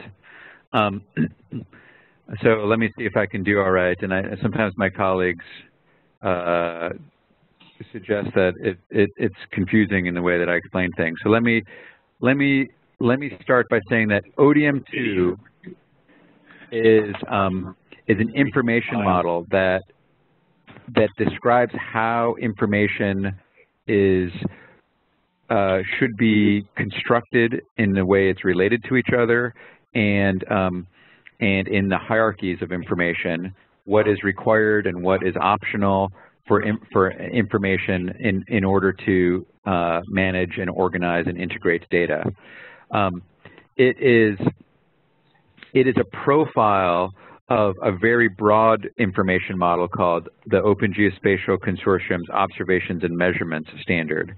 This is a you know an international standards organization approved um, uh, conceptual, like full-blown conceptual model of how information should be described. ODM2 is way more specific than that. Um, it's still an information model that then can be implemented in lots of different ways. And one of the most important ways in which ODM2 is implemented is in a relational database. ODM2 can also be implemented as uh, uh, as object-oriented software and, and information flows in object-oriented software. So um, the, the concepts of ODM2 can also be implemented in vocabularies or in, um, data document, archival data documents like what we're trying to do with YODA files. So it's this kind of big beast. Um, ODM2, the ODM2 relational database implementation and some of its software uh, has been uh, used as the foundation for the new EarthChem DB at IEDA, And um, uh, components of it are being used in HydroShare or will be uh, supported in HydroShare. Um, and the CUAHSI Water Data Center is considering it now that they've, you know, they, they just got funding to uh, about two years ago, a little less than two years ago, to move CUAHSI HIS into the cloud, and it took them about two years just to make that transition. Um, now they realize that that system needs to uh, have new capabilities, so they're looking at ODM2 for that.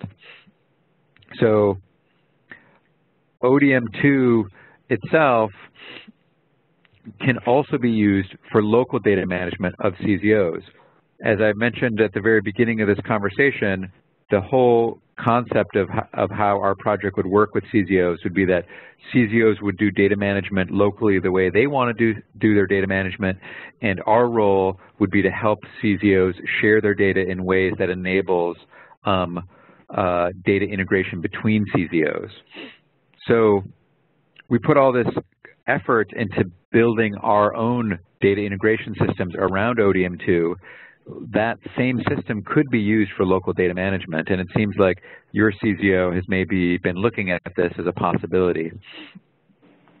So we, um, primarily Jeff Horsburgh's team, uh, but also others, could are, are, would be very interested in supporting you in, in, in, in using ODM2 locally.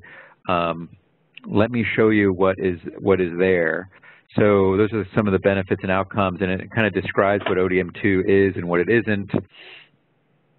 And then here are some instructions on how you might use ODM2 uh, locally.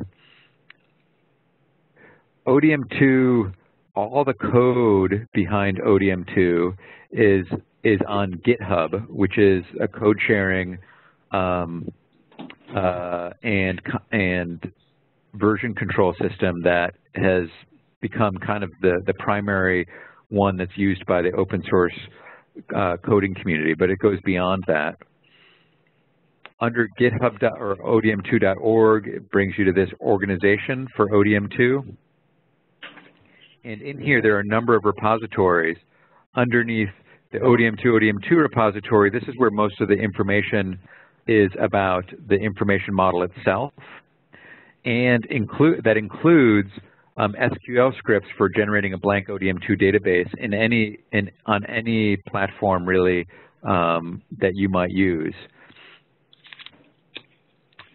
So there's a lot of documentation on how ODM2 could be used as a local database um, including entity relationship diagrams, et cetera. So the reason why we are interested in su supporting local OD, uh, ODM uh, local uh, CZOs to use ODM2 for local data management is because we're building a whole software ecosystem for our own uses uh, around uh, a, a, relational database that uses ODM2. The foundation of that is the ODM2 Python API, which basically um, for those of you with programming backgrounds, it, it translates the relational-oriented database to an object-oriented co uh, coding framework in Python. And this layer then enables us to build the software around the ODM2 relational database. And I think one of the most more interesting and more developed software that's been around for a while, first uh, as an ODM1 um, toolbox is this uh, graphical user interface, this graphical, you know, point and click program that anybody could really use that allows one to do time series management, things like drift correction and offset corrections and uh, a bunch of QA QC work on time series, but it all sits on top of an ODM2 database. So, you know, the, this is actually getting reasonably mature, this ODM tools Python. So there, so these various software approaches are at various levels of maturity. The database itself is quite mature. The API is quite mature. And because of that, we there's now ODM Tools Python that's quite mature. Um, the streaming data loader to have wireless streaming sensor data, like automatically fill out your database, that's getting mature. And the things that we're actively working on now are things like um, implementing WaterOneFlow web services to then take the data that's coming into your database and expose it to the CUAHSI-HIS system um, out of your database. So that's on its way.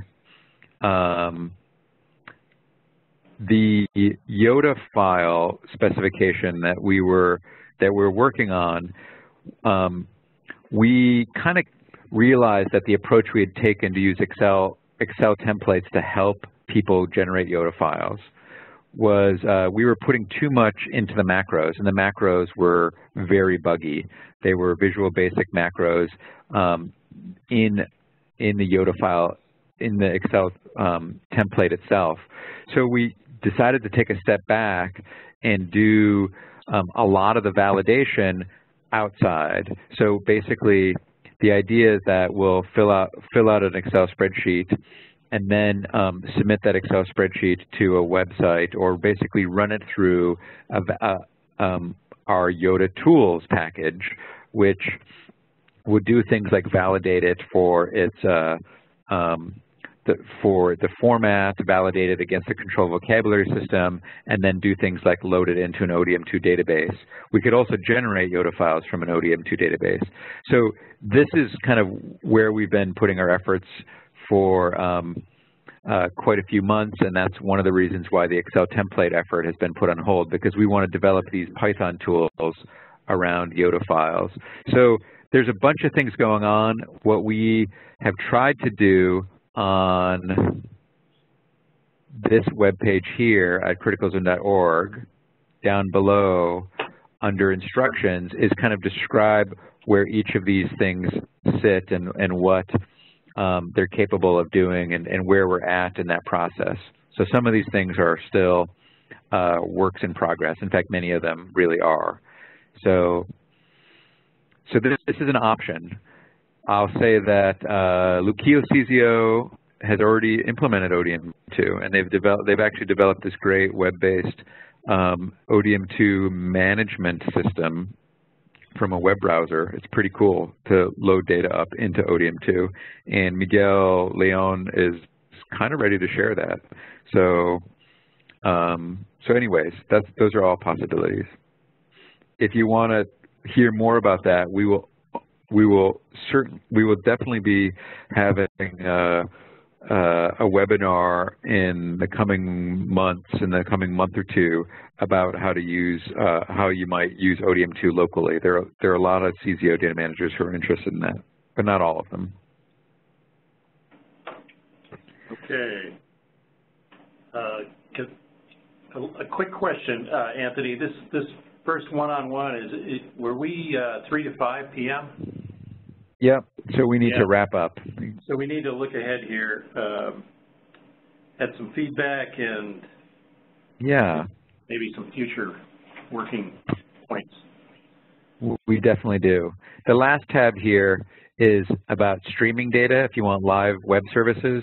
The sh short point here is that there are lots of different approaches um, and we're willing to work with you on those. And they don't involve necessarily using ODM2 or a CUAHSI-hydro server. There are lots of approaches if that is of interest to you. Yeah.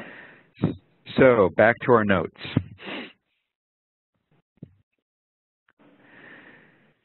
So it looks like we've some of the members of our team uh, have been writing in ideas uh, about how to move forward. Um, and any of you who are uh, editing this document can add add to this kind of list of next steps for how we can move forward um, in the coming months. Okay. So we heard how you know X, raw XRD files could be listed on criticalzone.org as dataset listings. Eventually, uh, we hope to manage them much more elegantly with uh, a YODA file specification, but that's down the road. Um, Sarah just wrote in see more notes in the first overview above. So I guess there's quite a few notes in this document. Uh, the intent of this document was just this, so that lots of people could write notes as they're listening and thinking, and that we could refer to it. One of the things that I'm hoping to do, although I, have had a hard time catching up as we've been having so many of these um, uh, consults, is that I, I kind of want to write a summary, kind of review each of these after, after each of these calls and write a summary and send it out to everybody of kind of the next steps. Um, so we talked about, uh, you know, trying to use use that social science archive that you described, and Emilio is very interested in having that conversation. Um, work having your education team work with Dave Lubinski for outreach materials. We talked about how to share genetic and genomic data um, by, oh, it looks like a bunch of stuff, notes got pasted in there, um, by uh, basically starting by creating a data set listing and, and making link linkages there.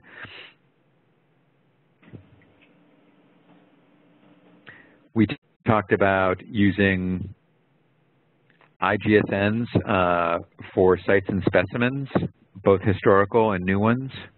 We talked about getting your NCALM data uh, uh, sent to OpenTopography and that Tom and Ilya could help you with that. Was there anything else?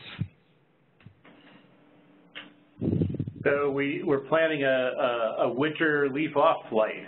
So I haven't talked to the people at NCALM as to the uh, transfer of those data, but we'll make it more seamless than our first flight. Mm -hmm. Anybody else have any suggestions? This is nice. These uh, recommendations popped up from all of you using computers. yeah. That's the benefit of Google Docs. You bet. I really appreciate it because I can't talk and write notes at the same time. Totally. So, so I don't know, this is Sharon Billings. I don't know if you want me to respond to the uh, letter E there. Mm -hmm. um, it's, it's Lydia Zeglin. She's at Kansas State. Oh, I see. So she's not at KU. And I don't know if she's going to Argonne, but I know that I am. Oh, so, well, excellent. Then we don't need to discuss anything further then if you're coming. That's okay. terrific.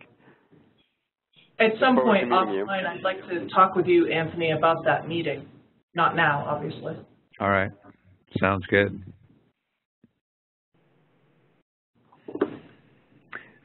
So those last two points that we kind of went over kind of quickly, well, maybe laboriously in the case of ODM2 and quickly in the case of streaming data, is that something that that you're interested in having us pursue with you, or do you want to think about it more? Either of those, ODM2 or streaming data?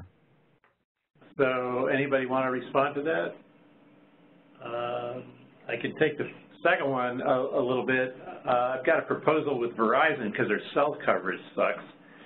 Um, so it, we've, we've got to think that through, but I would, I would love to have some streaming data um, capabilities, uh, in particular for, our, for three of our PhD students. Mm-hmm. So to be clear, what we're interested in helping you with is taking is taking the data, you know, getting the data over the wireless network and into your building. That's not yeah. what we're going to help you with. yeah. But once it gets into your building, getting right. it like into as a CUAHSI web service so that it can be discoverable and available via all the clients to CUAHSI. Uh, that's what we would help you with. You bet. All right. All righty. So we have a couple, just a couple minutes here. Uh, if uh, if if you all have some ideas or thoughts about the future, you know, what what next? Uh, where would you like to see the National CZO Data Project go? Yeah, got a. In most. Mm-hmm. Got a thought, uh, Will? Uh, where we are in relation to Anthony's moving target? yeah. Well, it's going in a good direction. The new information on the website is excellent and very helpful and will help us get us up and going a lot faster. So yeah, so we're we're going to have a series of webinars and um, to kind of dive into some of those things. We've you're the the um, the actual the eighth CZO that we've talked to, uh, and actually the last one that's scheduled. So right now we're going to try to synthesize all this information that we've got, set up some webinars to kind of give additional information for those who are interested about each of those topics, um, maybe some walkthroughs, et cetera. And, um, and then probably have a series of, of workshops in the early winter to help us, you know, finalize things like the YODA specimen, specimen file template once we have a, a decent working draft there. Um, we learned our lesson to not release something that's really super beta. Um, that generated, unfortunately, some frustration. Uh, hey, Anthony, this is mm -hmm. Paul. Um, I guess I'd like to get a little bit of input before we close here. Um, you know, asking what we could use. I think, you know, the big push um, is for cross CZO activities. And I think the more you guys could do, um, you know, to generate common templates, common ways to share data, um, you know, and facilitate that, um, not so much within the CZO, but across CZOs, that would be one perspective I would like to see promoted a little bit more than, than what I've seen to date. Um, and also maybe just a real quick comment uh, from you, perhaps, um, in terms of global, um, what other, you know, there is also a push and activities going on about international CZOs. Um, you know, I guess, is there any efforts in that direction as well? So if you could just tell us what's going on there, that'd be great. Sure. So um, the international CZO question is a good one. Uh, a lot of our team is very much tuned into what's happening internationally. We have not had any specific conversations with data managers from international CZOs. However, almost everything that we're doing has a very much of an international focus. The, the San Diego team has been instrumental in developing WaterML2, which was an, is an international um, time series data standard. Kerstin's team in IEDA has been very actively involved with uh, you know, the International Geosample Number, which has got an international governing body that's actually established in Germany. Um, we developed ODM2 as a, as a specification uh, uh, or more specific profile of OGC's observations and measurement standard, which is an international thing. We've given presentations at that, um, at those technical meetings, which are very internationally focused. So we've been thinking quite internationally, but um, but the international network is still fuzzy enough that we haven't really dove into conversations with specific data managers from any of the other programs. I'm not aware that there's there's a high level data discussion yet going on with the international network. But we also but we're but we're quite uh, aware that that will probably be coming down the pipe. Um, yeah, I just, you know, I don't know if you other people got an email from Tim White, and uh, there's going to be some meetings at the AGU specifically yeah. targeted towards that. So again, you know, um, maybe it'll be opportunity for us to make have some FaceTime for the people attending AGU to, uh, you know, maybe follow up on some of these these things. Is is there any, um, and I apologize for my ignorance, but is there any uh, organized activities related to data management that's going on at AGU? Kerstin's team always has quite a few workshops. Yeah, I mean, we we have um, Sunday afternoon uh, is going to be uh, sort of not a formal meeting, town hall type meeting about samples and the IGSN. It follows the, uh, the General Assembly of the IGSN organization that happens that afternoon. Um, we don't have a data publication workshop this year. Maybe we should still set that, but um, from our side, otherwise there is uh, an, I don't know if anyone of you is using GeoMapApp as a visualization tool. There's there's going to be a, a lunch, a power user lunch for GeoMapApp. That's this time the only things. Otherwise, I can just encourage you to attend EarthCube meetings.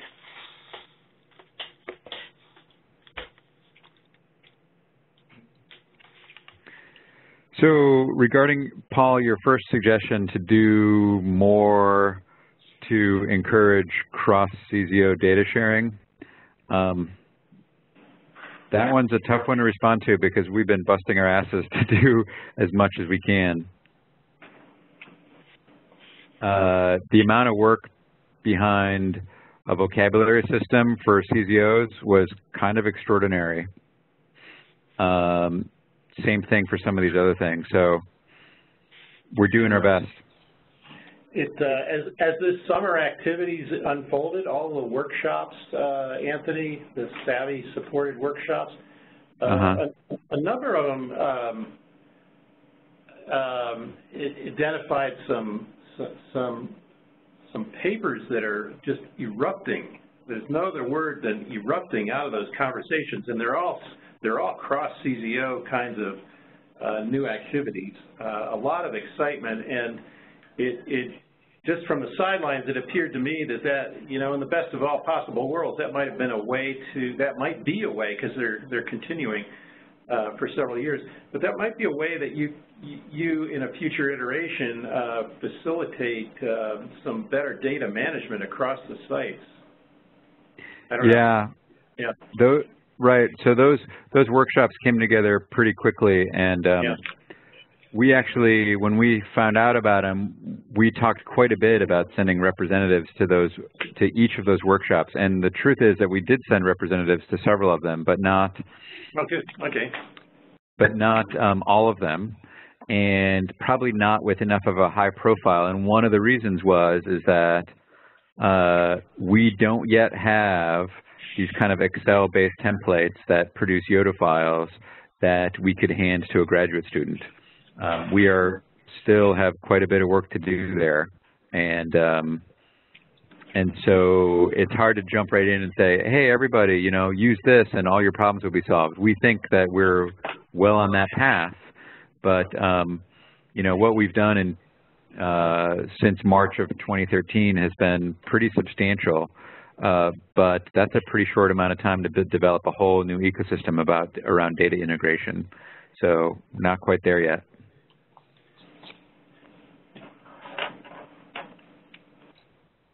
Okay, so um, where do we go at so, the end yeah, of this meeting here? Uh, we are definitely at the end of this meeting, yeah. So we'll, we're going to continue this conversation about future needs, and and I think the idea of having um, CZO data represented in one way or another with some some uh, hands-on support at all cross-CZO workshops where data integration is happening is an excellent idea and, and something that I wish uh, we could have been ready and nimble enough to, to participate in with the activities that happened in this last year. Yeah, so the SAVI uh, grant continues for two more summers, it's my understanding. Uh, back yeah. to the Calhoun, it, it seems like um, the, the summary cut across our project of the various people and projects that are going to be pushing their data uh, ahead. And um, I'll, I'll reflect a little bit with Will and uh, fill, fill that out a bit um, and uh, pass that to you, Anthony. Okay. For comments and so forth. Right. So when you mean fill it out, you mean you're talking about this Google Doc, or are you talking yeah, about? right here. You you you guys put up the I. It, it's just above where we can see it. You have you have A through I. Uh, kind of a summary yeah. of our meeting. What I meant to say is I could fill that out a little bit because this is a Perfect. this is a sample of a of, yeah. of our project. Um, and then as the PI here, Will and I will fill that out, so to speak, include some other ideas and and efforts that we're making that need need uh, discussion, um, and then you can respond to that, helping us that out. That sounds good. Yeah, that sounds excellent. All right. Okay. recommendations. With- Thank you so much. Okay, Thanks Anthony, for all uh, attending a, a marathon. Say that again? Good luck to you and your team, you bet. All right. Thank you. All righty. Thanks for all the help. All right.